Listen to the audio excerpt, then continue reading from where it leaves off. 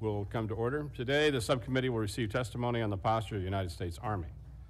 First, I'd like to welcome our two witnesses, Secretary of the Army Christine Wormuth and General Randy R- George, Chief of Staff of the Army. Thank you for joining us. We look forward to your testimony. The U.S. Army provides our nation with our best fighting force in the world. We face a variety of threats from across the globe, which require a well trained and well equipped Army. As new threats evolve, it's imperative that we prioritize investments that not only contribute to current readiness, but also provide us with a decisive advantage on any future battlefield. I am pleased to see your ongoing efforts to improve force posture in Indo-PACOM, the over 70,000 soldiers serving in the region, your work with our regional allies and partners, and investments in critical munitions will help secure greater operational access to the region and provide a much-needed deterrence posture. I look forward to discussing more about how your fiscal year 2025 budget request invests in Indo-PACOM theater. We are keenly aware of the need to modernize the Army of today and to address the great power competition in the future. And I appreciate this process began several years ago. I think you'll agree that the subcommittee worked with you to balance supporting your strategy while ensuring that successful ongoing programs continue to receive an appropriate level of resources. However, I see a disturbing trend in the success rate of your modernization programs, particularly the Army's big dollar investments. I'm thinking of $2 billion for a helicopter program that has now been canceled, a $3 billion for a long range hypersonic weapon that has not had yet had, had a successful test flight and was well past its fielding date, and $1 billion for a long range artillery cannon that was recently canceled due to engineering challenges. That's $6 billion invested into three major programs, no operational capability. Imagine the number of 155 rounds or other critical munitions we could have bought with that funding. I support innovation and modernization, but I'd like to have a higher level of confidence that the Army is investing their limited budget appropriately. I'm hoping you can tell us how you're scoping modernization to identify non feasible programs earlier and working to incorporate successful technologies more rapidly. Threats from unmanned aerial systems are increasing, and the technology for these systems is also maturing at a rapid rate. We have watched this evolve during the past two years in Ukraine, and unfortunately suffered the consequences of not addressing the threats of this technology as we continue to mourn the three U.S. soldiers who were killed in January at Tower 22. That is why I'm a supporter of the efforts to rapidly prototype and field UAS and counter UAS technologies. Initiatives like the Deputy Secretary's Replicator program are a step in the right direction. I understand that the Army is already leaning forward by investing in these capabilities. I'm interested in learning more about your initiatives today. Modernized capabilities are only as good as the soldiers operating them. I was pleased to see that the fiscal year 2025 request includes significant funding for new and modernized barracks, as well as the sustainment cost to ensure that our soldiers have improved living conditions. I'm interested in hearing about these efforts, including receiving assurances from you that you are addressing important quality of life programs for all our soldiers worldwide. The Army continues to face recruiting challenges and would like to hear about your efforts to address that issue. Finally, I'm pleased to see your recent investments in production lines to boost monthly deliveries of key munitions. The Army has overseen a significant transfer of equipment to Ukraine, and I applaud your efforts. However, I continue to be concerned about domestic stockpiles and therefore our readiness rates. I hope you will discuss today how your fiscal year 2025 budget will improve the production of munitions and address any shortfalls that we may have in inventory. With that, I recognize the distinguished ranking member, Ms. McCollum, for any opening remarks. Thank you, Mr. Chairman. Thank you for the courtesy. Secretary Wormuth, uh, General George, thank you for being here to testify before us today. Um, General George, this is your first appearance before the committee. Welcome. Uh, the Department of Army's fiscal year uh, 2025 budget request reflects the priorities for personnel and for procurement. At $182 billion, the Army again is having to make difficult choices and what is in essentially a flatline budget when not accounting for inflation. You're also managing personal deployments to EUCOM, CENTCOM, and INDOPACOM, keeping our nation safe in the face of threats from abroad all around the world. Well, at the hearing today, we will cover a wide range of topics, but I want to highlight a few topics that are especially important to me. First is personnel. The Army continues to strive to meet uh, recruiting goals, and we must do all that we can working together with you to, to assist you in this effort. I'd like to hear an update on what programs and activities uh, the request has included in it to address the recruitment challenges that the Army faces. Second, the Army has per, uh, personnel deployed in Europe and the Middle East performing activities in support of Ukraine and to keep our troops safe in Iraq. But the funding for many of these activities all reside in the supplemental. Everyone here knows, and I think most of the committee, we uh, strongly support uh, a supplemental moving forward, but the House, as you know, continues to struggle with passing it. I'm concerned that in order to cover these deployments, the Army is now robbing Peter to pay Paul, or I could even say Elizabeth to pay Beth. And unless the supplemental funds are provided soon, the Army will have to restrict its activities for fiscal uh, year Finally, the request for FY25 includes increased investments under, in countermand unmanned systems. I'd like to better understand how these investments will advance the Army's position on the battlefield, that given drone technology is constantly evolving at a rapid race. I want to uh, let you know that we stand ready to work together with you to give those who are on mission the equipment that they need to achieve success and come home safely. Thank you again to our witnesses for appearing here today. We appreciate your testimony and answers to our questions. Mr. Chair, I yield back. I thank the gentle lady. I'd like to now turn to the new chairman of the full committee and my good friend, Chairman Tom Cole. Mr. Chairman, again, congratulations, and the floor is yours. Thank you very much, Mr. Chairman. Uh, China's military modernization efforts and increasing assertiveness have raised concerns about the potential for conflict with the United States. At the same time, Russia's continued unprovoked attack on Ukraine underscores the range of threats that we and our allies face. It's vital that the United States Army uh, maintain a robust and responsive force posture to deter potential threats and ensure the safety and security of U.S. interests. The United States Army is faced with a variety of issues that demand our attention and require us to ensure that our soldiers are properly equipped and prepared to face the challenges of the 21st century.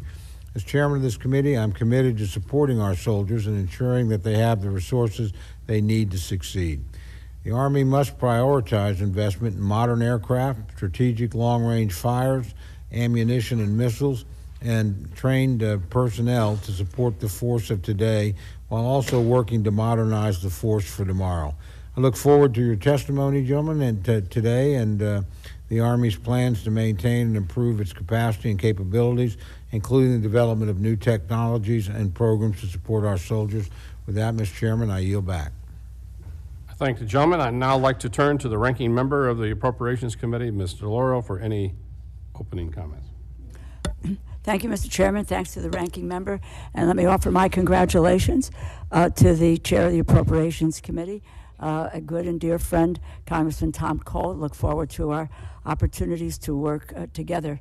Um, on what is, in my view, the Central Committee at the center of uh, the federal government and its role in what it does with regard to the American people. So, again, my congratulations.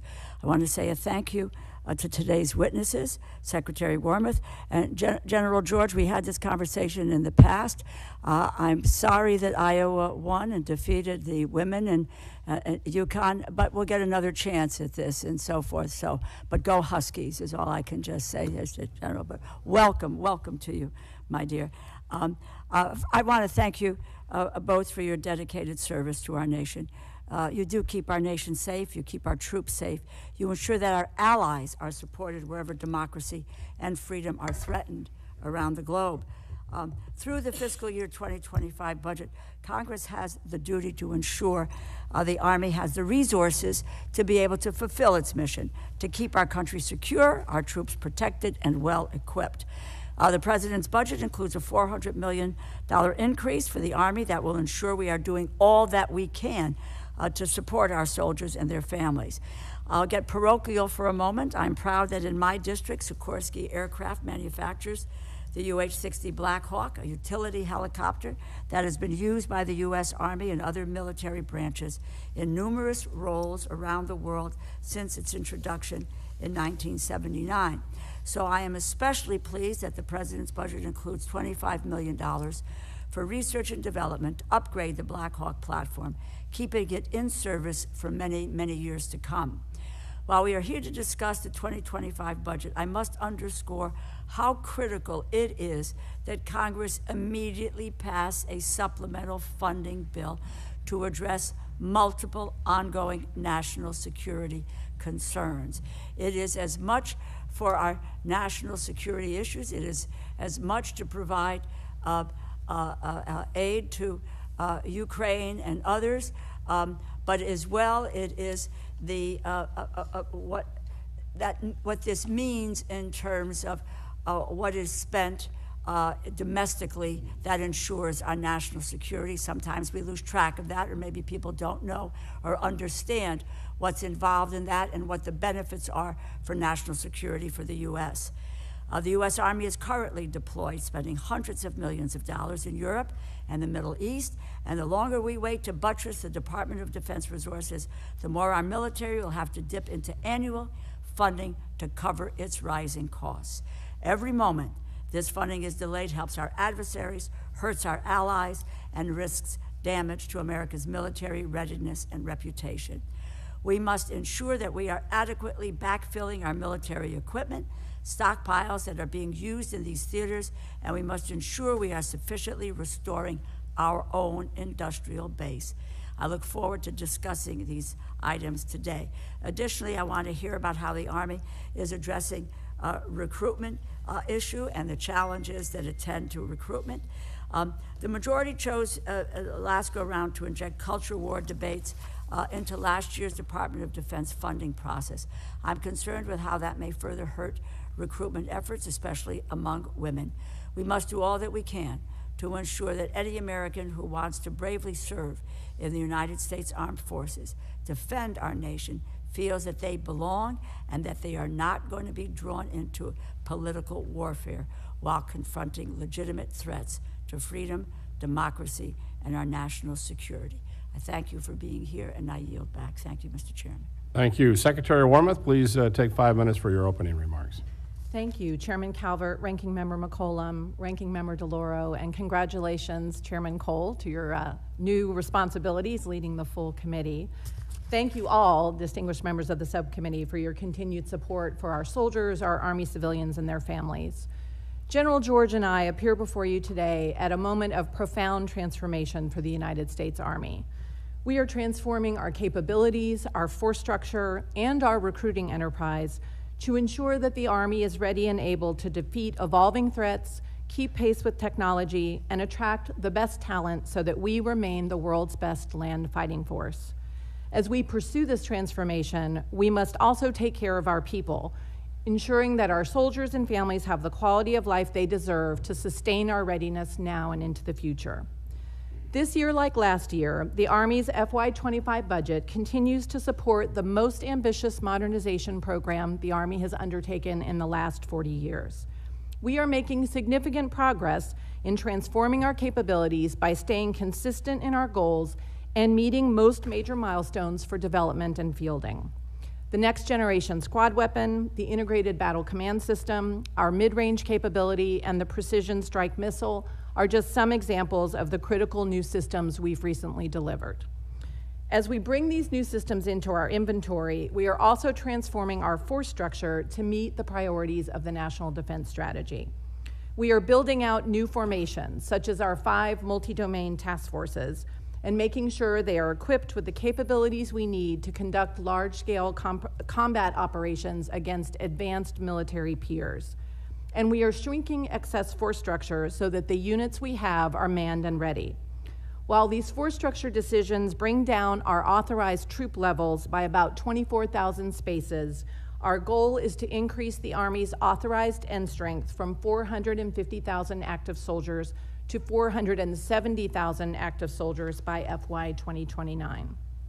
To meet that goal, we are working around the clock to overcome our recruiting challenges, and I'm pleased to say that we are making very solid progress this year. Building on successful initiatives like the Future Soldier Prep Course, we are fundamentally transforming our recruiting enterprise to better compete in the 21st century job market. Most significantly, we are professionalizing our recruiting workforce by creating new permanent talent acquisition specialties for both enlisted soldiers and warrant officers. The assessment and selection of the first cohort of our new warrant officers is complete, and this group will be out in the field by the end of the summer. As we transform, we also have to take care of our soldiers and families. A key part of that responsibility is providing safe, high quality housing and barracks. And, Chairman, as you noted, over the next five years, the Army will invest an average of $2.1 billion each year in the construction, sustainment, restoration, and modernization of barracks for unaccompanied soldiers. This investment will also fund sustainment at 100%, something we haven't done in several years. We are also leveraging the expertise of the Corps of Engineers to stabilize our project costs, and we will hire civilian barracks managers to oversee our barracks so that our soldiers can focus on their warfighting responsibilities. Physically and emotionally healthy soldiers are more resilient, they're higher performing, and they're less likely to engage in harmful behaviors. To build resilient soldiers, we are expanding our holistic health and fitness programs to 71 active brigades. We are investing in financial management services so that our soldiers know how to budget, and we are encouraging programs in our divisions that focus on soldier well being. Our goal is building cohesive teams and proactively working to reduce harmful behaviors from a soldier's first day in the Army.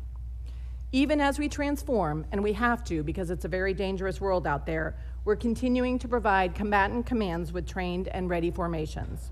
This year's budget seeks $1.5 billion for activities associated with the Pacific Deterrent Initiative.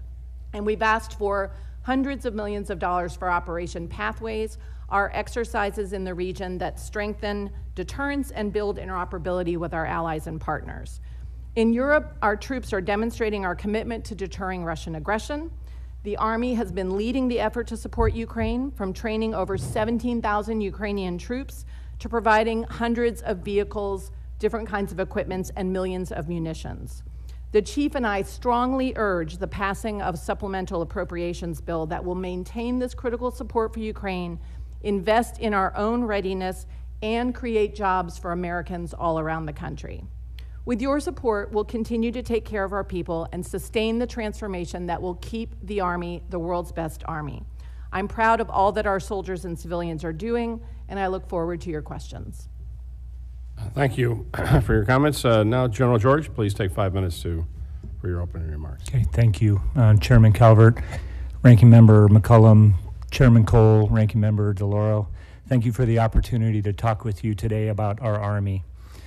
The world is more volatile today than I have seen it in my 36 year career, and there is clearer cooperations between adversaries than I've seen in a while. A spark in any region could have global impacts.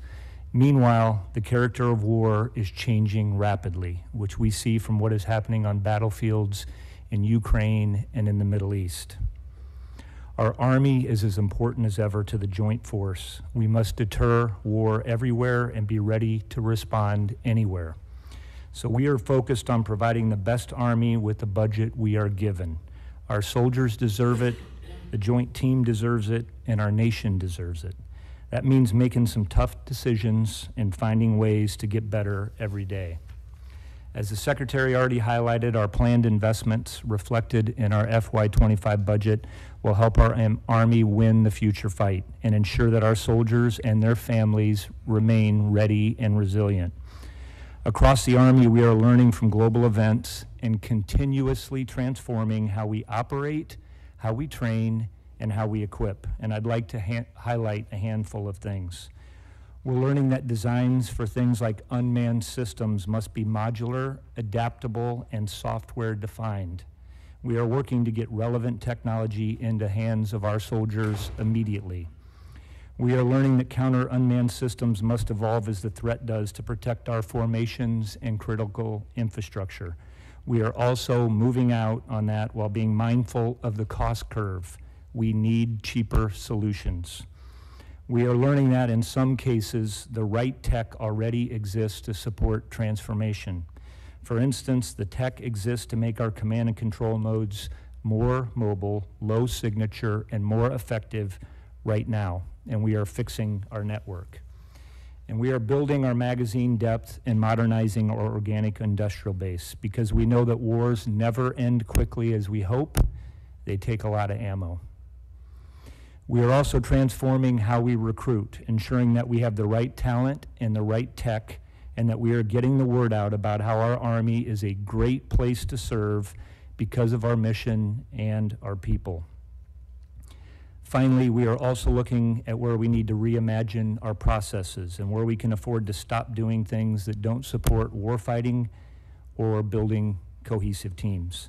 I'm proud of what our soldiers are doing around the world to defend, help defend our country. We appreciate your support, and I look forward to your questions.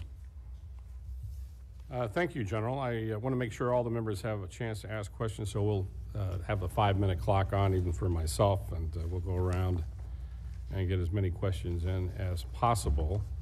Uh, Obviously, we spent some time uh, in my comments and the ranking member's comments and uh, your comments about UAS and counter UAS uh, strategy and uh, what we're going to do uh, to defeat that. Um, The threat from kamikaze drones and unmanned aerial systems has intensified, and it changes almost daily. I, uh, I see that your budget request includes 400 million for systems to counter small drones. I'd like to talk more about your approach to countering UAS threats. So Secretary, uh, how are you ensuring that the Army investments in counter UAS flip this cost curve so we're not just shooting down $500 drones with $1 million missiles? Thank you, Chairman. Uh, We're trying to do that in a couple of different ways. As you noted, first of all, I'd say um, since 2020, we've had $3 billion that we've invested in counter UAS and UAS systems, and there's um, several mil- hundred million dollars in this year's budget request for that, and there are also some on the chief's um, unfunded priorities list as well. I think, you know, we, we all are very focused on growing our investment here. Um, one, we are very much looking at how can we find lower cost attritable systems. And we are working with companies like Anduril, for example, to try to invest in smaller, very effective, but less expensive um, types of UAS and counter UAS systems. Another thing I would highlight, Chairman, is our investments in directed energy. So, for example, we have directed energy M-SHORAD. There are four prototypes for that system out in CENTCOM right now. We also um, have a couple of high-powered microwave programs. And one of the things that uh, I highlight DE M-SHORAD, for example, because we're still working on the costing, but in theory, you know, the laser is essentially unlimited ammunition. So um, it offers the possibility of us being able to shoot down hundreds and hundreds of UASs and have a very quick reload rate. So I think there's a lot of potential in that kind of a platform. Chief, I'm sure you want to add. Yeah, I just would add, Chairman, that, uh, and what the Secretary talked about, what we're trying to do in the Middle East by sending over the user, the developer, and the tester, and them all being together. I think what we're learning from the battlefield, for example, what's happening in Ukraine is things are changing in weeks and months, and we are going to have to be able to adapt. And so that's what we're doing. So we're, we are sending everything that we possibly can into tougher environments and putting all of those all of those people together. And uh, it's a lot of the there's a lot of small companies out there that are doing a lot of, of great things. We just got done with a big experimentation with Project Convergence that was out at our National Training Center.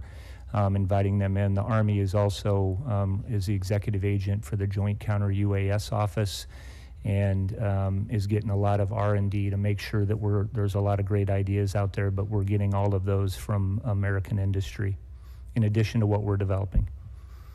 Um, Obviously, in Israel's in this uh, supplemental that hopefully we'll be able to figure out how we're going to pass, um, has some money in it for Iron Beam. And um, Rafael has made significant uh, progress in this, and I know that uh, our contractors have been working with, with them.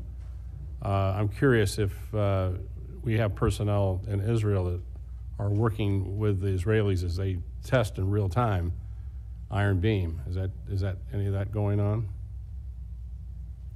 I'm not, I, I, I can tell you, Chairman, is that we are, um, I just had met the, uh, IDF ground commander and several of his staff, and we were just together, so we're, we are exchanging, um, lessons and, and, and having that kind of inter, interchange, and we are looking at sending some people over there, so, and I've also just had some discussions with Rafael, so for our part, what we want to do is whatever is working out there and is adapting, um, we're looking to, to bring that into the system. And the systems that you've already put on some of our equipment, uh, the testing you're doing, is, are you satisfied that it's moving in the right direction? I'm, I mean, I think we have more work to do, and this is one, there's probably three areas, Chairman, where I think that we need to be more flexible in our funding approach. Um, Counter UAS is one of them, unmanned systems is the other, and then EW, which is related to both of those efforts.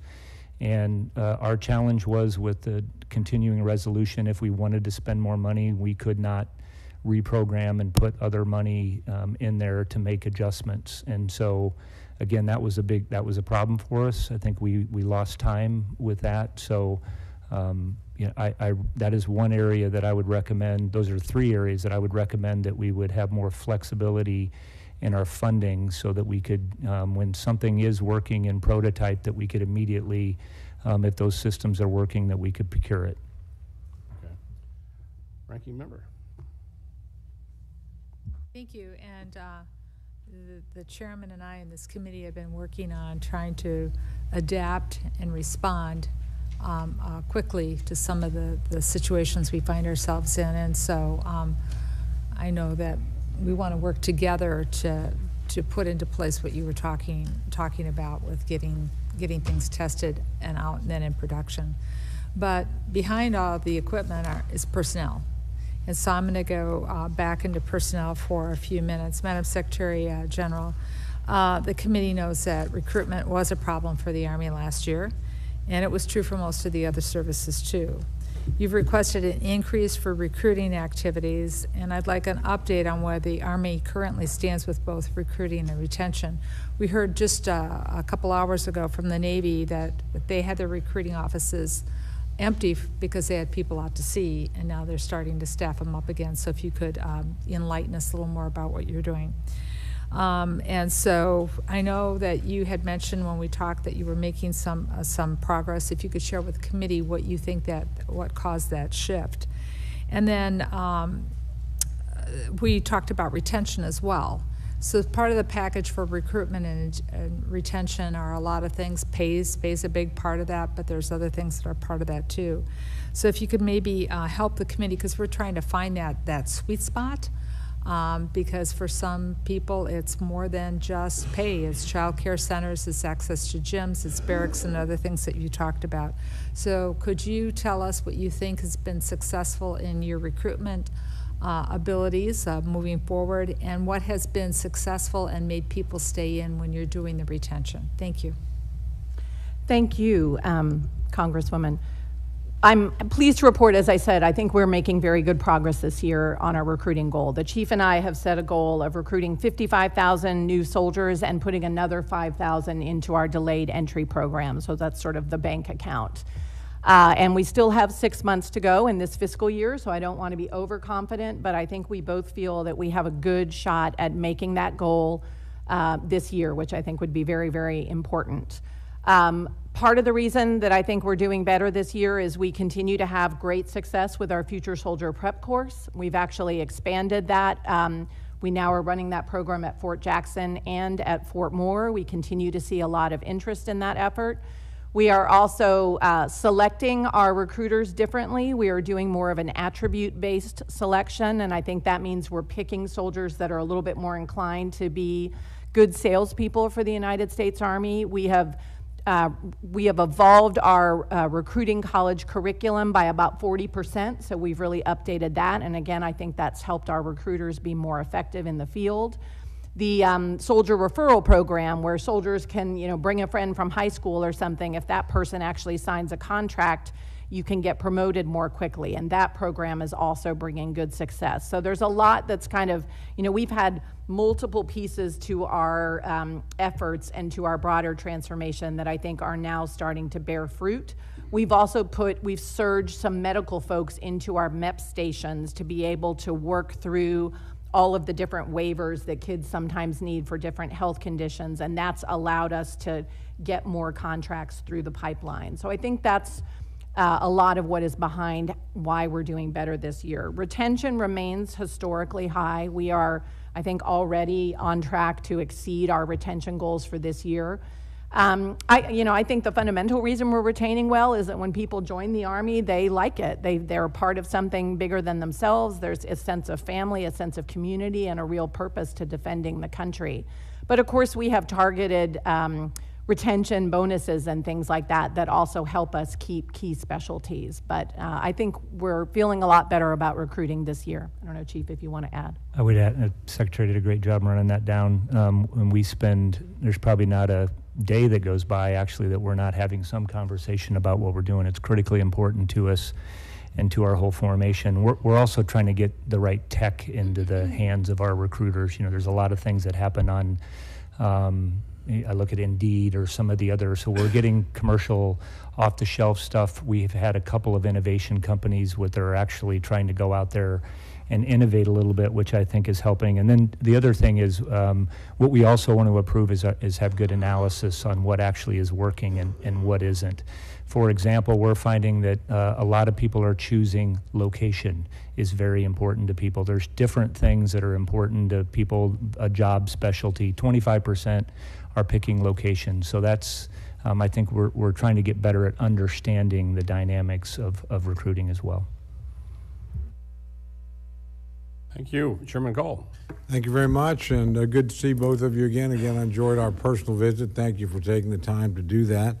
Um, let me ask you uh, one parochial question. Um, I am disappointed to once again see in the president's budget a reduction um, on the uh, Paladin Integrated Management Program down. This is the fourth year in a row that number keeps coming down. We raise it every year here uh, because you're asking for 20, it takes 36 to maintain the production line minimum. Uh, Is there a problem here, or is your budget just stretched that far? Thank you, Chairman. Um, I think the, the investment in Paladin is a good example of where we're having to make hard choices, um, given our relatively flat top line. And there are, you know, you, you can see that whether it's um, equipment for our armored brigade combat teams, you know, things like Bradley, things like Stryker. Um, you know, we have not been able to invest as much as ideally we would and continue to modernize the new systems. I would add, though, that again, this is another place where if we get the supplemental, we are planning to um, invest in 18 additional Paladin systems. So between what we've got in our base budget and hopefully if the supplemental comes through, we should be above the minimum sustain- sustainable rate for the foreseeable future. That's good to hear. Uh, General George, you mentioned in your testimony, you talked about magazine depth, and that's something I think that concerns us all, relates back to our own industrial base. And so could you just give us an overview on, you know, how much have things improved? Uh, What, uh, I I would assume this is another place where the supplemental would help us a great deal if we were able to get that done. Uh, And just uh, your thoughts in general on, on, I mean, it's pretty bad when you're worried about, uh, you know, 155 millimeter shells and things that are pretty basic things that we ought to have in abundant supply. Um, Chairman, it's, uh, obviously, we want to, we're putting a lot of energy in the organic industrial base. I think it's important not only just for the Army, but for the joint force in, in what we're doing. So um, we have invested, I think, more than $3 billion ourselves. Um, We are, the supplemental has, I think, four and a half billion that's in there that, you know, would go into um, improving the industrial base and buying the munitions that we need, you know, back to the, back to the magazine depth. So what I think is important, and I've been to several of these, is that we're, you know, trying to automate a lot of these places so that we could scale and increase um, production that we have with the workforce. 155 is a perfect example. Um, we started off at about 14,000 rounds a month in 155 millimeter. Um, we're up to a little over 30 right now, and we're ready to scale to 70. Um, with the money that goes in the supplemental, we can go up to 100. And I, I think we need that capability. Again, I think one of the lessons a lot of people have learned over the last year is just how good um, U.S. equipment is, and there's a lot of people buying, you know, those same same systems. So that magazine depth is critically important for us. I'm going to ask you uh, one other question, because you don't have enough time to do this, but uh, I know obviously you're very keenly, and uh, the Secretary is as well, looking at what's happening in Ukraine. So I'm just, if you can give us lessons learned, what do you think a year uh, into the, two years into this, but that you might not have thought about before, and, and how is that changing the way you think and, and what you need?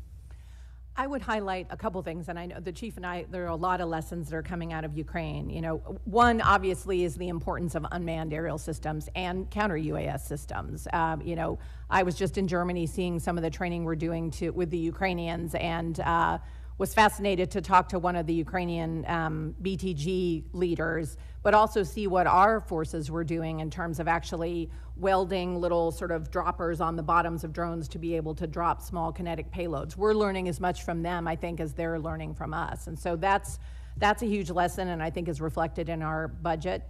Uh, the importance of long range fires, obviously, uh, which again I think speaks to the importance of continuing to invest in things like precision strike missile or the long range hypersonic, which you know we have had some challenges with, but I, we are working quickly on that. And the last thing I'd highlight, Chairman, is contested logistics. Um, you know how we're going to have to disperse in a future battlefield where everything is transparent. We can't have these big sort of supply bases. And we're starting to really bring those lessons into our um, combat training center rotations. I have seen that myself at um, Fort Johnson, where we're doing a lot to, to change how we're approaching logistics, recognizing how contested the environment will be. I'll, I'll, t- I'll be really quick here, um, Chairman, and uh, we could go on a long time about what we're doing. And we talk the difference between observing a lesson and actually learning it. And the learning it is changing how we're going to train and fight, um, how we're training our people at the like at Fort Sill and the places that are going, all our professional military education, and how we buy things. Um, I think on the, the, it you can't hide on the modern battlefield anymore is the big thing, and so it's that has really changed. You know, signature management, um, network. Um, we have to be more mobile. We're going to have to be more dispersed, and it's really going to impact every potential system. I will tell you there's three big things that are happening at Fort Sill that are we have a lot of lessons in long range fires, how effective ground-based long-range fires that are very hard to find in the clutter and to um, and to kill. And we we've seen that they're gonna, they're very effective on the battlefield. Integrated air and missile defense, another thing that we do um, a lot at down at Fort Sill, is very very um, important to the Joint Force and what we're doing for protection. And then the counter UAS, which we're do- also doing down at at uh, at Fort Sill um, is something that um, we were talking about earlier that we're going to have to, you know, continue. That is going to be a growth industry, I think, for all of us. Thank you very much. Yield back, Mr. Chairman. I think we're all going to have to get out to Fort Sill. That's it. Take it up. Ms. DeLauro. Thank you very much, Mr. Chairman. And uh, again, thank you both for being here today. I'm going to uh, follow up with a parochial issue as well. I think it's something that you're well aware of. Um, it's important to the district, and that's the Black Hawk helicopter. Uh, Sikorsky makes the finest helicopter uh, in, the, in, the, in, the, in the world in Connecticut's third district. So let me direct my first question to you, Madam Secretary. I understand the Army is going to be focusing on purchasing, purchasing the Mike models of the Black Hawk. I'm concerned, though, that since the multi year contract expires in 2026, there could be a gap in the contract with the industry. Can you tell me how you and the team will work to shrink or eliminate that gap so production can continue without interruption? Absolutely, Congresswoman. Um, when the current multi-year contract expires, it is our plan to have essentially a heel-to-toe uh, arrangement so that the next five-year, multi-year contract will will start immediately. We will buy 24 helicopters annually for five years for a total of 120. That's the plan. So we will work closely uh, with the company to make sure that the negotiations are worked out so that we can have no break between the two multi-year contracts. Thank you very, very much. And just uh, in terms of the Army's commitment to the Black Hawk, um, how many Black Hawk helicopters will remain in the force for how long? What will the Army do to ensure an adequate number of Black Hawks for the Army National Guard? Uh, let me take that a couple pieces at a time. We expect the Black Hawk to remain a very important part of our overall aviation portfolio for years to come. Uh, the the, the Mike model is a 20 year airframe, and those are the ones that we'll be buying with the new five year multi year. So they'll be in the fleet for a very long time. Uh, I'm, I'm sure you're also aware, you know, there are um, reflecting on the quality of American equipment, there are a lot of allies uh, who would like to buy Blackhawks, and so I expect we'll continue to see quite a bit in foreign military sales. Uh, so I think those will go on for quite a while, and we will be, in terms of the Army Guard, um, who had originally been intended to get the Victor model, which only has a 10 year lifespan for the airframe, we will be providing the Army Guard over time with the Mike models. So I think they're quite pleased about that.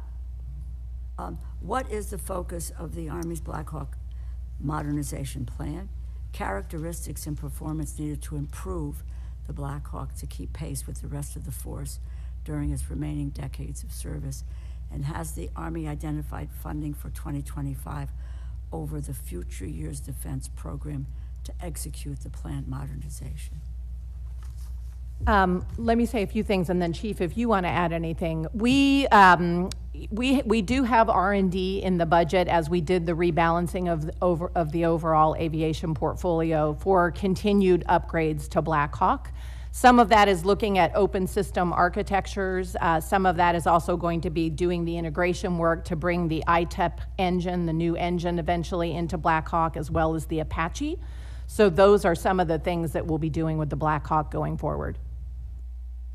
I guess the only thing that I would add, Congresswoman, is, and I've spent a lot of time in the back of, of Blackhawks, and it's a great, it's a great aircraft, is um, we're also looking at sensors. We're also looking at how you would uh, match launch effects um, that come with these aircraft. So um, kind of what we said up front, we're looking at, these are areas we're going to have to continually, continuously transform.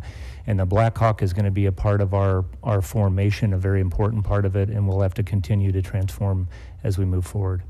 Great. I, I- appreciate your indulging me in these, uh, in, in these questions. As you can tell, it really is a top priority for me. It's a top priority for, for my community, as you've known for, for a long time. If I could just ask about the security supplemental. Uh, the Army has requested approximately 10 billion to support activities in and for Ukraine and for additional activities in the Middle East. How are you funding activities to support Ukraine and the Middle East, and what will happen if these activities are not funded with additional supplemental funds? What will suffer without these additional funds? Thank you, Congressman, for that. There's really, I think there's three pieces of the supplemental that are really important uh, to the Army. You know, first of all, we've given the Ukrainians $10 billion worth of equipment and materiel, and we have been essentially um, planning on the supplemental coming through so that we can replenish that equipment that we've given to the Ukrainians. So we intend to, you know, use that money to buy AMP-Vs, to buy some of the Paladins that I talked about earlier, to buy more JLTVs. So that replenishment is really important. The second piece is the investment in munitions, particularly the 155 millimeter shells, and getting up to 100,000 rounds a month that the General George spoke about. And the last piece I would highlight in the supplemental that's really hitting us right now is we have cash flowed about $800 million to train the Ukrainians and also to do some support in CENTCOM. So if we don't get that supplemental, we are going to not have money basically by the end of May to be able to um, get the current units who are over there in Europe doing the reassurance mission. We don't have the transportation money to have them redeploy. We don't have the transportation money to send units to backfill them. We won't be able to support our participation in things like KFOR or exercises in European Command in the third and fourth quarter. So there are some real problems for us that are going to come out if we don't have that supplemental. Uh, I- I- I will yield back in just a second, but I just want to make the point on the re- replenishment. I'm not sure how well widely understood it is that we are paying a price for not moving forward on a supplemental.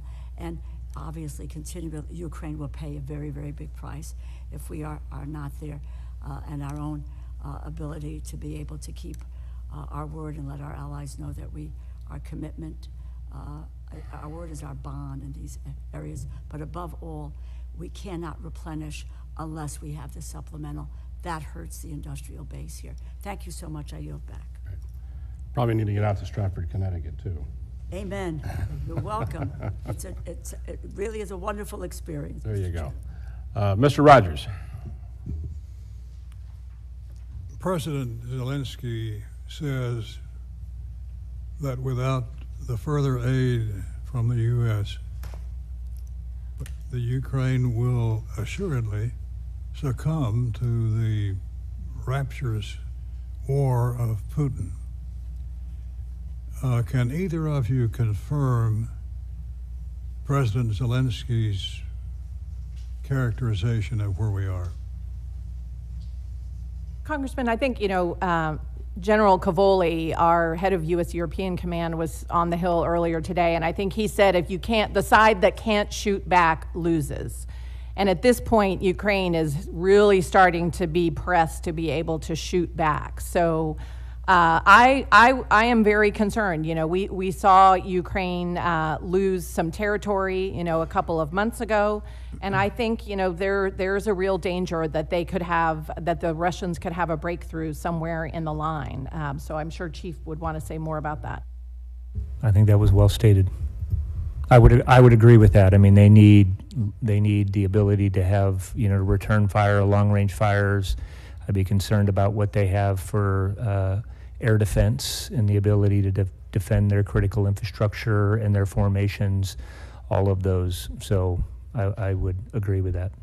Do you worry about the uh, image that we're throwing out there, particularly to the Eastern European former SSRs, who see us not defending them? Is that a problem for us to worry about? I'll just uh, comment, Congressman, that um, I think every um, ch- CHOD or um, Army chief that comes to see me is very concerned about that. Um, They, you know, looking at that as commitment and, you know, where is our commitment? And what I have found interesting is it's not just in Eastern Europe. There's a lot of countries that ask the same question um, around the world. So same thing in the, in the Pacific that are watching um, what our support is. One of the main uh, problems in Ukraine are landmines, which apparently are being sold throughout the country by the Russians. What can you say about that, and what can we do about it? Again, I, th- I think that comes down to, um, you know, what you're providing. It's a perplexing problem with all the obstacles and everything that's been placed over there. It um, is not only danger to a force, it's danger to anybody who's around in that environment. Um, so I think it would, it would, it's going to take uh, a lot of engineering assets um, to clear that, and and I think it would also take a lot of time. Whenever we've seen that with, with mines. Thank you for your service, both of you.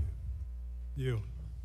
Thank you, and I thank the chairman uh, for uh, the- the uh, quick time, because we need to finish this uh, hearing by 3:55, because we have a special meeting we need to attend to.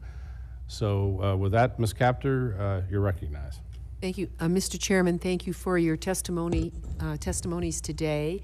I regret the inability of this current House of Representatives to pass legislation so essential to the defense of liberty, and do not count myself among those who are holding up the process. And it makes your life exceedingly difficult, and all of this is completely unnecessary.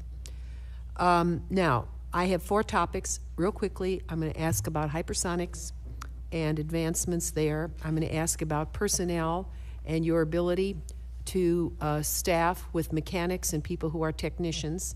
Uh, any shortages there?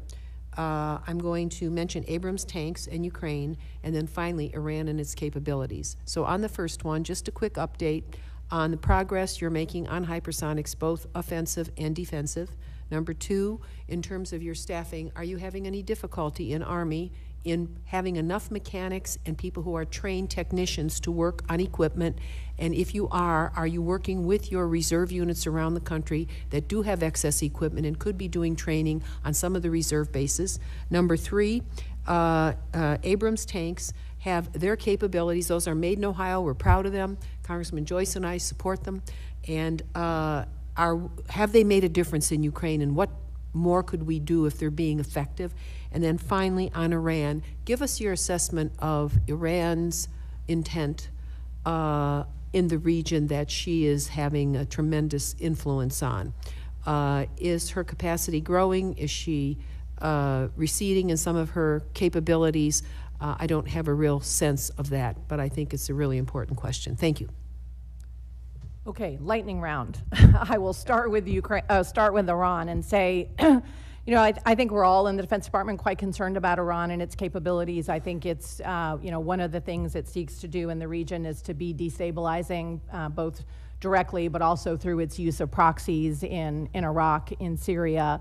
I think the um, relationship that seems to be growing between Iran and Russia is concerning. Um, so that's just a, a, snapshot of, I think, how I would see uh, Iran.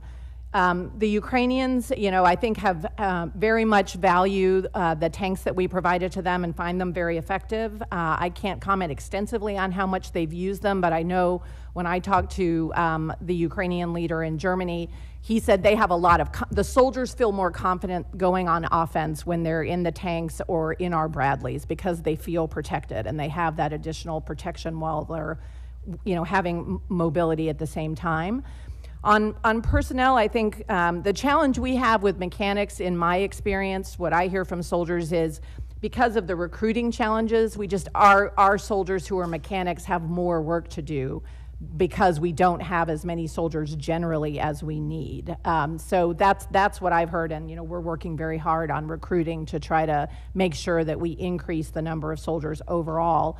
Long range hypersonic weapon. Um, we are working on that diligently with the Navy. We will have another test later this year.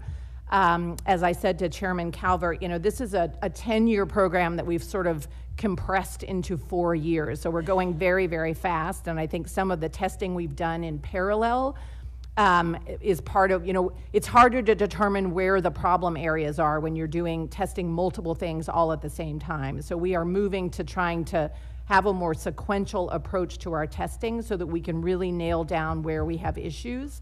And I think, you know, we're hopeful that we'll have a good test later this year. Chief, if you want to add. I'm just going to add a couple of things. I just was out at uh, Joint Base Lewis McChord. We have a um, hypersonics uh, battery that's out there, and I will tell you, once we get this round, which uh, I think is coming, that battery is training, testing, you know, ready to go, and um, so I think that'll be a capability we're coming out. On the mechanics, the other thing that we're looking at and is there is broadly we're down on some of that. We need to you know recruit more mechanics and people with technical expertise. We do use the guard and reserve, and um, we try to plan this out for exercises, guard and reserve. General, I want to help you on this. Just know that on the mechanic side. Okay. Um, to to get them into the you know into exercises and and where they can help us in our ordnance companies. We're also trying to get rid of excess inside of our formation so that we don't have we're not maintaining things that we don't need to maintain. We're in the process of doing that. Um, the Abrams tank, I will. It's the best tank in the world, and if uh, in all of these for success on the battlefield and, and, and being out there, it requires combined arms. So it's with everything else. And I've heard the same thing that the secretary has heard. And you get a certain level of confidence, though, when you have uh, an M1 tank inside of your formation. Thank you, General. Uh, next, Judge Carter. Yep. Well, you got here earlier.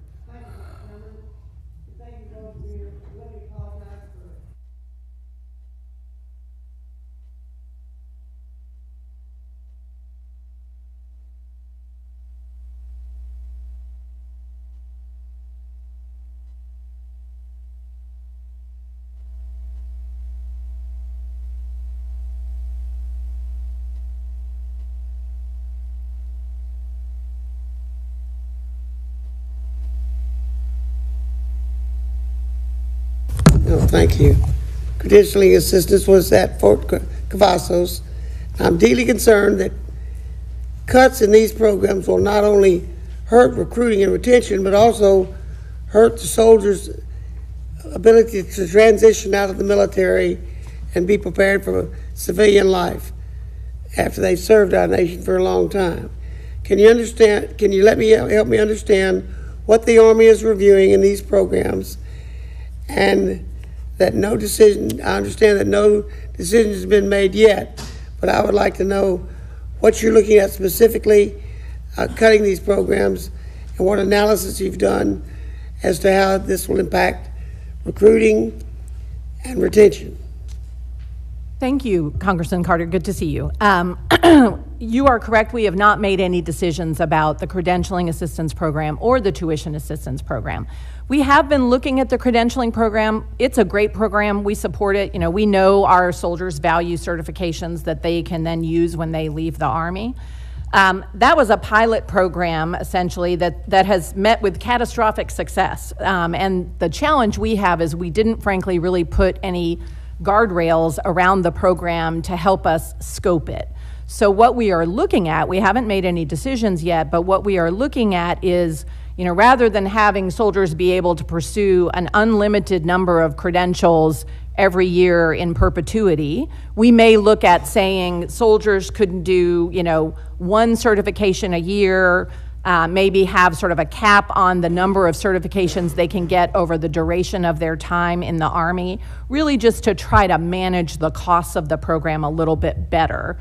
Um, but that's sort of how we're thinking right now, and, and those kinds of um, guardrails are very similar to what our sister services have done in the Air Force and the Navy. General? Yeah, only thing I would, I would add, um, Congressman, is how we transition our soldiers. We obviously want to keep them. That's our number one goal, is to keep everybody, um, but how we transition them is critically important to, to us in doing that and making sure. Um, and that's important to us also for our recruiting mission, because we know that when people um, come into the, come into the Army, they're going to get a skill, they're going to enjoy what they're doing, and then we want to send them back out there. So we're looking at all of this um, in total. Well, thank you. Uh, The Apache hel- helicopter is in my district. With the cancellation of the FARA, I have yet to hear what the Army's plan is for funding modernization of the Apache. Could you speak to what plan you have and where the funding might come from? Certainly. Uh, we are very much, you know, the Apache is another great helicopter. Uh, my, my XO sitting behind me is an Apache pilot as well as a Black Hawk pilot. Uh, we're going to continue to modernize the Apache over time, and there is money in the budget to do that. You know, really what we're looking at with Apache is, again, how to have more open system architecture so that we can do upgrades over time more quickly and more easily than we have in the past. The other thing that we are looking at with Apache is um, taking a little bit more time to figure out exactly how we're going to integrate the new ITEP engine, excuse me, into both Apache and Blackhawk. I've got some more time. Uh, I understand the Army is considering looking uh, at privatization of barracks. Out of curiosity, have you looked at allowing the E5s to move out of the barracks? It could potentially reduce the number of barracks we need to build and help reduce costs to ma- for, in maintenance. I don't know the math on how this cost would work, but I would be interested in hearing this. And also, I understand you're looking to recruit older people to be, to be brought back, brought into the, into the military. And they're not gonna be wanting to live in the barracks, especially if they're given special duties where they're not gonna have a lot of promotion. And they might spend ten years in the barrack, and a guy that you, a twenty-five-year-old is not gonna be interested in being in a barrack till thirty-five. Uh, would you like to answer that? Sure, I'll start, and then Chief, if you want to add. Um, We're looking at a couple of... Also, if you want to do that for the record, we could get that back to you, Judge, in a way we could Yeah, maybe so. Okay, happy to do that. do that, do that keep things going. Uh, Mr. Case? Thank you, Madam Secretary. Um, I just wanted to uh, take off on your uh, brief comments opening on the Pacific Deterrence Initiative. Um, And I think we would all obviously agree that um, our challenge is in the Indo-Pacific and that we need to focus on that and we need to plan for it from a budgetary perspective. But to be really honest with you, I'm trying to figure out what Pacific Deterrence Initiative actually means nowadays and whether it has the purpose that I think Congress envisioned, which was to quantify our efforts in a joint coordinated way so that we were sure we are on the right path in terms of doing what we need to do in the Indo-Pacific and funding to it also, so the EDI model. Um, and I understand there's questions about OCO, et cetera, et cetera, but I'm just talking about the use of a, of a mechanism inside the DoD and that we in Congress can use uh, to quantify whether we're on the right track. And um, I've got a couple of concerns in that department. Um, I think, first of all, um, as I look at the FY 2025 overall PDI summary from DoD, including the Department of the Army, and you cited 1.5 billion to PDI, if I look at the categories of things that you've stuck in PDI, frankly, some of them are exclusively Indo-PACOM, so that's, that's fair game. But some of them seem to be usable anywhere in the world. So then I asked myself, well, what's the good of that? That wasn't what PDI was supposed to be about. PDI was not supposed to be about things that are designed, and I'm quoting from your thing, designed to address or deter broader strategic threats, easily transferable between theaters, routine activities, and exercises. Some of that seems to fit in that category. So I'm, I'm wondering how they, they were categorized there, number one. And then number two, if I look at your FYDP over time, um, the overall uh, PDI is declining precipitously over the next five years, including the Army, which is going down something like 60%. I think the uh, figure I've got here is, is uh, 1.5 billion requested this year down to 0.9 billion by FY 2029. So I guess my real question here is, again, I want um, something that I can look at and go, okay, yeah, we've got everything in that box, and we know what we have to do in the Indo-Pacific. We know what we have to do for the geopolitical challenge of China. And all services, this is what you need to be doing, and this is how much it's going to cost, and this is what we have to do over the next five years plus. And I don't think I'm getting that in the PDI. So I'm thinking to myself, well, do we have to fix PDI somehow in Congress, to, or somehow in another way get what we're after here. Do you have any comments on what PDI means to you nowadays? Why are we seeing such a loose bunch of stuff in PDI in my in my estimation, and why do we see it going down so precipitously over five years? Um, let me take a shot at that, Congressman. I think what I would say, and I can understand your frustration, I think as someone who was in the Defense Department when the European Deterrence Initiative was created, there is, I think, a pretty significant difference between EDI and PDI, which is that the European Deterrence Initiative came with a pot of money from Congress um, that was sort of firewalled, whereas um, when Pacific Deterrence Initiative was created, it, it didn't have that. It was sort of the same concept, but very importantly, without the money. And so now I do think you have a situation where we in Congress um, we, you know, one thing I can assure you is the Army is very, very focused on Indo-PACOM as the priority theater. And our whole strategy as a department is very, very focused on Indo-PACOM as the priority theater. That's how Secretary Austin and the deputy work with us in the services to try to align our investments. They, they grade our POMs very much on whether they think it's meeting the challenge there. So I think I feel confident that our budget is putting the money that we need to put towards that theater. But I certainly can understand that from an accounting perspective, it can be hard sometimes to get a real sense of whether you have everything. And that's, there's also, I think, the, the unfunded, the report that Indo-PACOM generates as well, I think, which is a very large list of requirements. Probably because, and I'm not, I'm just guessing at this, because um, some of the P- PDI, it's not in PDI. Um, and they have to find it somewhere. They have to emphasize what's what's what's necessary in the Indo-Pacific. Do you think it's possible to have a PDI without an OCO style dedicated source of funding, as in the EDI? Is, does it just at that point just become a, as somebody actually referenced, an accounting mechanism inside DoD, and and an imperfect one at that? Because obviously we're not just spending nine point nine trillion um, dollars on um, the Indo-Pacific. We certainly feel the loss of OCO. I think that's fair to say. Uh, and I would say within the top line that we have, it would be hard for us to put more money than we have in our base budget towards Indo-PACOM. Thank you. Next, Mr. Thank you, Mr. Chairman. Um, First of all, I want to thank you both for your service uh, to our- to our country. Uh, I want to focus on the troops uh, here uh, in California last week, uh, and we brought this up in our earlier hearings with SecNav as well. um, And we've had discussions with SecDef as- about it as well. California last week raised uh, its minimum wage to $20 an hour. Uh, Okay, so you've got 18, 19-year-olds working at McDonald's, who are making almost double what an E1 makes when they come into the service. An E1 right now, even with the 5% raise last year and the 4.5% increase in this president's uh, budget request is still $22,000, $23,000 a year. Um, And so we're competing from a recruitment per- perspective uh, with fast food workers, right? And, and those guys aren't putting their lives on the line every day uh, like our like our soldiers are. Uh, this isn't just a problem in California; it's a problem in, in multiple states, uh, Virginia, Florida, where the cost of living is higher and the pay is still low. Uh, I have been pushing, and this committee has done a great job. This subcommittee has done a great job. Uh, unfortunately, the, the Senate stripped out our, our Pay Raise Act, which would have started base pay of an E1 uh, from taking it from $22,000 a year to $31,000 a year.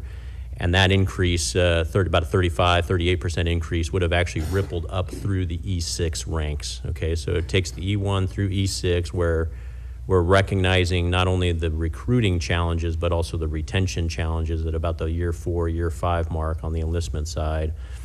Uh, and at least from a salary perspective, gets them more competitive with their peer groups in the civilian sector.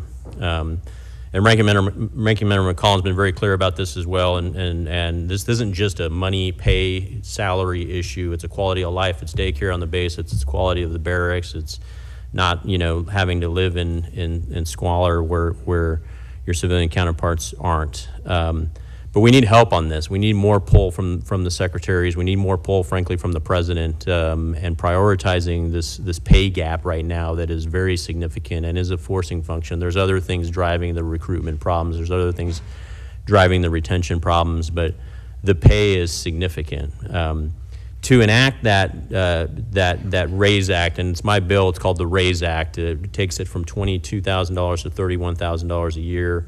That ripples up through the E6 and compresses it. So general, you, you wouldn't be getting that 30% pay raise, but you don't need that 30% pay raise. Your, your soldiers need that, the, the junior enlisted do. Uh, but it basically gets them above that $15 minimum wage, sort of federal recognized minimum wage number, right? And it gets them off of food stamps, frankly. It gets them above the poverty line. The cost of that is roughly um, anywhere from half to 1% of the total DOD's budget to implement it. So we're not, we're not, we're, we're talking, you know, seven to eight billion dollars to implement this, this Junior Enlisted Pay Raise Act. Uh, So the 4.5% in the president's budget request is, is barely going to keep pace with inflation. The last, uh, uh, I think, five years, we've seen a, a cumulative of uh, roughly 25% to 27% inflation, uh, while the, the sum of the pay raises that we've given our troops, and especially the, the junior enlisted, is, is something like 14 to 15%. So we are putting them further and further behind the, the, the power curve. So the ask is that we support higher pay, and I know that that's not in the president's budget request. Um, we are going to try to legislate our way through that and create a new pay table that increases that E1 through E6 uh, pay, but uh, I think that goes a long way. And right now, if you ask an 18-year-old if he wants to go work at uh, In-N-Out for $22 an hour or join the Army uh, for the equivalent of $12 an hour, you're going to get 95% of them uh, going to In-N-Out, even if they love the country, even if they want to serve. They just can't afford to go join the Army right now, and that's a fundamental problem. So uh, would respectfully request support for that. We can look at all the other elements that go into quality of life and the holistic pay um, and whatnot. Uh, I will submit for the record a question around the FARA cancellation. Uh, we sunk about $2 billion into the acquisition program. Uh, industry put in about $500 million of IRAD of their own money, getting to the point where we did. It did kind of surprise a lot of us. I know you were communicating with some folks, but uh, I'd like to get a deeper dive on the explanation of the sudden cancellation. I know Congress didn't help, the CR didn't help, but if we can get all the details. And the last uh, thing I would recommend is uh, beyond high energy lasers and high energy microwaves that I know are very useful in counter UAS, uh, counter drone. Um, there is new technology out there that I've gotten to do uh, classified briefs on for high energy RF, where it's basically an AESA radar that uses larger brick si- size ar- arrays instead of little TR modules like you find on a fire control radar. The beam steering basically uses high energy RF capability um, and is a little more stable than high energy lasers, for instance. So You get back to them look on the record. I yield. uh, Thank you. For the record, that would be great. Uh, Dutch, you're recognized for five minutes. Already? No, hurry up. Trying to keep this on schedule. Business with a bridge. Okay. Okay. For Secretary War, con- uh, congratulations on what you've done, done a good job. Uh, General, you too, and uh, you've got a good team, and that's what, what counts. Um, Secretary Wormuth, and, and General, you can answer uh, some questions here too. I mean, what, what the questions I'm going to ask, not many. I don't know what this year holds in store, but I do know that the last time the department uh, went a fiscal year without operating under a continuing resolution was back in 1997. Now, could you provide a brief overview of how short-term spending measures impact the Army? Uh, What do we put at risk when we don't pass funding bills on time, especially when it comes to competing with China? Absolutely. Or other adversaries too, but basically China. Thank you, Congressman, and I'm sure the chief will want to add to this. You know, I, I think of um, when we're operating under continuing resolutions, which you all know we were in the first six months of this year under CRs, we're basically trying to compete with China with one hand tied behind our back. Um, you know, we're not able to spend the money that we have in the most efficient way. We're not able to do reprogrammings. Uh, we can't do new starts on some of the, you know, very important modernization programs that we have. Sometimes it can delay our military construction. So at a, at a time where we don't have a moment to lose in terms of all of the new modernization we're doing, operating under CRs can be very challenging. Yeah, uh, Congressman, I'll just give you one example. Um, The battlefield's changing, what our troops were over there in the Middle East, and if we wanted to make some adjustment and bring something to um, counter UAS system, for example, and there, we can't start something new, we could, you know, can't increase production on, um, on the missiles that we need, so it has, it has real impact. And then the other thing I would just say is, then when you get the money, you have a very limited time um, to spend it, and that, that is also a challenge um, for us and has been. All right, well, thank you. Um, In the past few decades, if there are any indication at all, it seems that the department keeps getting put in these intractable solutions. And I'll be honest, I don't know what the solution is. Uh, So do you have any ideas about uh, other authorities and spending flexibilities that would enable the Army to overcome the challenges that continuing resolutions represent? Both of them. Well, Congressman, um, uh, the last thing I would want to do is to try to tell Congress how to do its business. Um, I- You know, Good idea. I, I think the PPBES Commission uh, that recently, I think, put out its final report had some good recommendations in a lot of areas for sort of how we in the department can work more effectively with you all in Congress to have a more agile budgeting system. You know, there might be some good ideas there. Um, but, but beyond that, it, the only other thing I would say, and this is you know, something the chief feels very strongly about, it's not really CR specific, but is is it possible in, in some very targeted ways for us to have more flexibility uh, in where we invest the programs, you know, inside of a particular portfolio, for example, to allow us to be more agile in terms of going after new technology? But that's not really CR specific. Congressman, I would, on the, I mentioned this up front. there's three areas where I think we have to be more flexible, and that's uh, counter UAS, counter unmanned systems, unmanned systems ourselves, so that we can detect and do all the things that we need to do on the modern battlefield. And then electronic warfare, all of that is changing really quick. So I think internal to the Army, what we're looking at doing is not having a specific program, but we need to have a portfolio because the industry is changing really fast. There's a lot of small companies out there. American Ingenuity is the best in the world, and we need to have the flexibility to do that. What I, what I think would be helpful is because of the continuing resolutions, if in those three areas, that we had flexibility between um, research and development, and then we would come over, um, obviously for the oversight and say, hey, this is some, you know, this, we need this system, we want to procure it, um, and it would be a notification. But I, I think that would help us with the continuing resolutions. Good ideas, but we've got to do something because we're changing so much and the whole world's changing. And, and we have to stay dominant as a, as a democracy. We have to start doing more of this and think out of the box uh, for the future. Uh, Thank you for your answers and I yield back. Thank you, gentlemen. Uh, Mr. Womack. Thank you, Mr. Chairman. Thanks to the two witnesses we have here today, Madam Secretary, uh, Chief, great to have both of you here today. Before I get to my questions, a couple of things. Uh, I want to take a moment of personal privilege to recognize that gentleman sitting over there by that camera in the very back of the room wearing that Navy shirt. Um, To my colleagues, this is Harrison Henry. He is soon to become part of the class of nine, or 2028 at the U.S. Naval Academy in Annapolis, Maryland. He's a Fayetteville High School kid in Arkansas. He and his dad, Mark, are here. They're headed over to Annapolis this weekend. They missed the hearing this morning. I, actually, I think that was on purpose. I think they're here spying on, on Army. spies. But Harrison, we're really proud of you, and I know this committee is proud of you and your classmates that will join you at the Naval Academy. Congratulations. Beat Navy.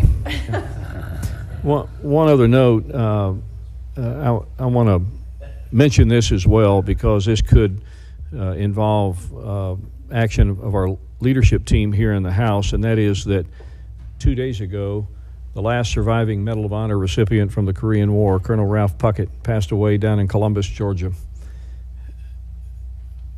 My, oh my. Medal of Honor, DSC, a couple of Silver Stars, five Purple Hearts, probably the most, I don't know if he was the most decorated in Korea, but he was one of, for sure.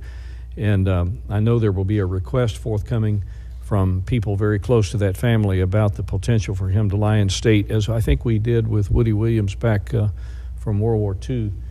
And uh, I hope our leadership team will give that uh, some some serious thought. Uh, we are losing a lot of our heroes these days, and and uh, we should be mindful of the sacrifices they've, they've made for all of us. Uh, Madam Secretary, General George, I want to want to go back to comments made about the supplemental. And I don't want to beat this dead horse, but I'm going to join the chorus of people that think that we need to act post haste on on a supplemental. What concerns me as much as anything, General George, is the potential for us to be canceling combat training center rotations as a result of our inability to move forces and train them appropriately. I personally think it's the secret sauce in readiness that gets our warfighters prepared and ready uh, to, to fight and win. So I want, I want to give you a, a, an opportunity to comment on that. That is a real threat right now. I, suppose that we could see some of these training center rotations uh, go by the wayside. I, I would just tell you, Congressman, we're going to have to make, based on what the Secretary said earlier, we're going to have to make some tough choices that we're going to look, you know, look all around. Um, CTCs would be very tough for us. I've been to, um, I think, four times already this year. It's kind of our crown jewel of where we're going to train and adapt for the future. So we don't want to have to make those kind of tough choices, and and we need that for our readiness. Madam Secretary? That's exactly right. I mean, I think we would really try to protect the 22, I think, CTC rotations that we have. You know, we, we could look at reducing participation, you know, skinning it down a little bit, but I think we would really avoid canceling it altogether. But those are the kinds of hard choices we're looking at if we don't see the supplemental come across the finish line. I think we have a role in that, and hopefully we can get to it. I want to go back to counter UAS. Uh, I, I- I note that in the budget, uh, nearly $450 million for counter UAS capability in your unfun- unfunded priority list. Now, there's money for counter UAS, but there's additional money in the unfunded list. I- Is it fair to assume that that's just something that you need, but because of all of the other requirements, you're just unable to get the full amount uh, in the base budget? We have, um, Congressman, we have some, we have a good amount in our base budget. We have some that we've requested in the supplemental. Um, And, and then, you know, when I was asked for unfunded priority list, the, the world has changed a lot since we put in our budget, which happened last October 7th. And I know that, you know, there's things on there that we would like to do, like increase uh, production for Coyote, uh, missiles that have been um, very effective. Um, There's other systems from Anduril, for example. So we would like to spend on that. So there's really two things in that unfunded priority list. It's um, ramping up production for the things that we couldn't quite get to, and then a lot of it is the, how the battlefield is changing. Again, I want to thank both of you for your service and for your ascension to the chief's role, uh, General George, and we're honored to have you here today, and I'll yield back, Mr. Chairman. Thank you. Uh, Mr. Cuellar? Thank you, Mr. Chairman and Ranking Member, uh, for having this meeting. Uh, I want to thank both of y'all uh, very much uh, for the service to uh, to the country. Uh, Madam Secretary, you're from College Station. What happened to Texas A&M? I'm just kidding.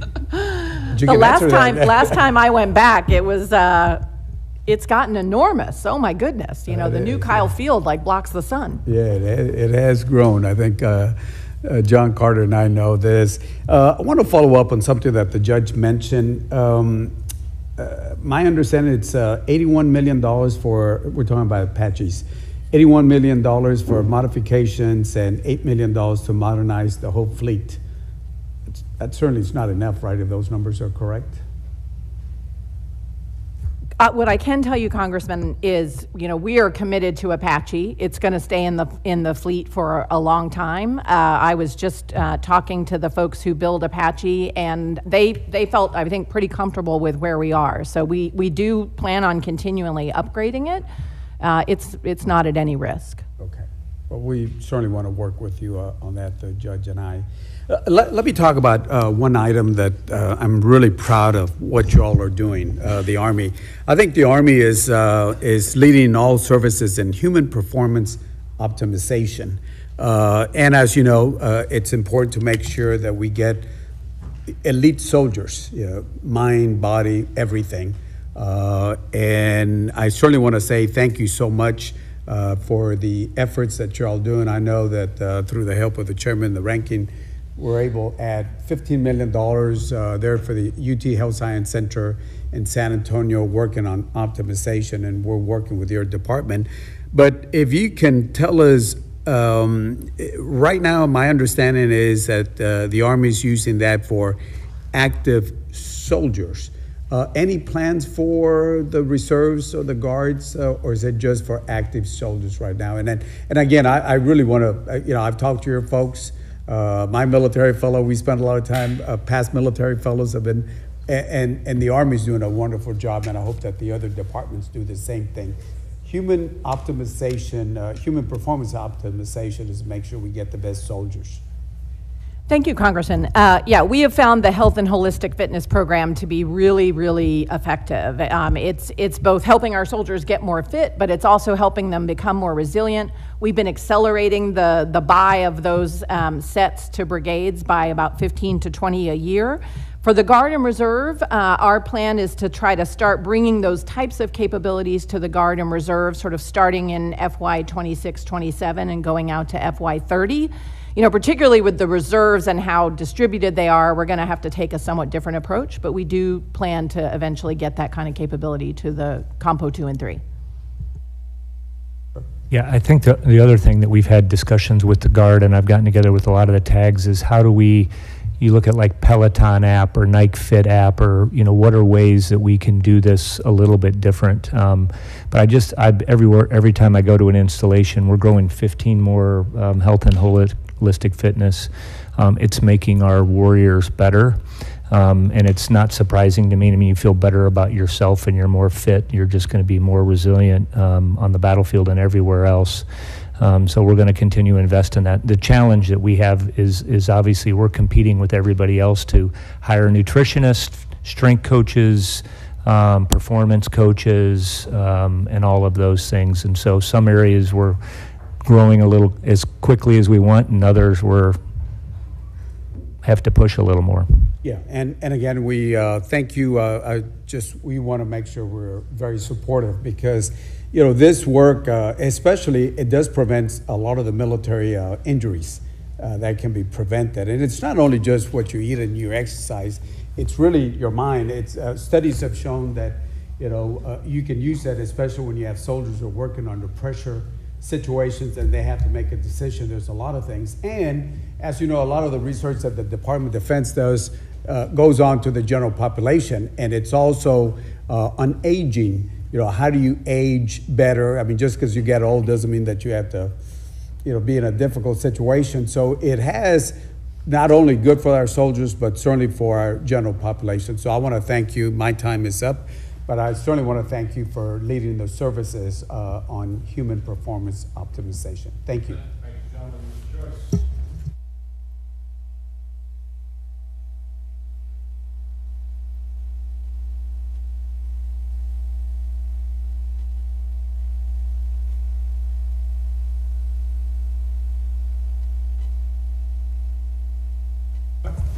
Committing that the Army's tactical fire study uh, revalidated the need for ERCA and a longer-range military platform. What is the Army's plan and timeline to get uh, ERCA into the production phase with the proposed cut in FY '25?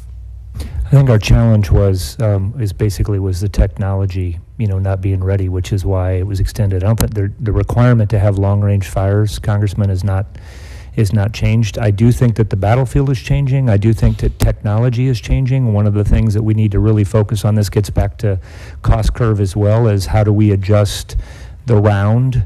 How do we adjust the missile? What are the things that we can do, I think, to increase performance? But long-range fires is critically important. It's, you know, ground-based long-range fires.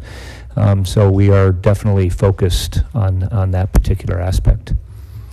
Congressman, if I could just add to what the chief said, he mentioned the engineering challenges we had with the, the barrel. Um, what we're planning to do, because as the chief said, we need, an, we, you know, the requirement remains, we're going to do a performance demo this summer with industry. There are other platforms that we think could potentially meet our needs. So we're going to have a bunch of folks who, who have capabilities that they think might be useful, and we, we expect we will probably select one of those for production in FY '25. Spent a fair amount of money to date, though, uh, in testing this equipment, correct? Yes, that's true. And I think, you know, what we found, you know, you all in Congress have been great about giving us some new authorities to allow us to um, develop and acquire systems more quickly than we've had in the past. We've been making good use of those. And I think one of the lessons, frankly, coming out of our experience with ERCA is that, which we will apply going forward to all of our modernization programs, is we need to have more points where we can have off ramps if we see that a, that a system isn't working. Because I think, you know, we, we probably, if we had to do it over again, would have off ramped away from ERCA a little bit sooner. So we'll build that into our acquisition plans as we go forward. So that's something you would need on your end, not so much we'd have to put it in. That's right. I mean, we, you have given us the authority. You know, we are, we are making use of them, and I think we're learning quite a bit as we go. You know, we've been doing much more of this kind of, and the chief alluded to it earlier, bringing industry, soldiers, and our acquisition professionals together to do touch points, you know, as we go. Um, so we've had a lot of learning in the last several years in terms of how we're using these new authorities, and I think we did learn some process lessons from the experience with ERCA. Fair enough. Uh, Madam Secretary, on March 1st, 2024, the Army's National Guard issued a memo suspending reenlistment bonuses effective immediately. The sudden suspension was due to a miscalculation by Army National Guard's planners who forecasted the amount of funds needed and anticipated volume of troops planning to continue their service. A week later, National Guard restarted issuing reenlistment bonus on March 8th. However, the updated policy cannot be applied retroactively, meaning that those who signed reenlistment packages between March 1st and March 7th will not still not be eligible for those bonuses. A, how did this miscalculation first occur, and what actions have uh, made to ensure that doesn't uh, occur again? And secondly, what are we going to do those people in the March 1st to March 7th space? Well, Congressman, I think a couple of things. Um, you know, obviously, with with all of the different tags in all of the different states, uh, it's a little harder, I think, sometimes to manage our um, pay bonuses, reenlistment bonuses than it is for us in the active, for the active part of the force. So I think there are some lessons learned for the Army Guard in terms of managing these types of programs and putting in cost controls.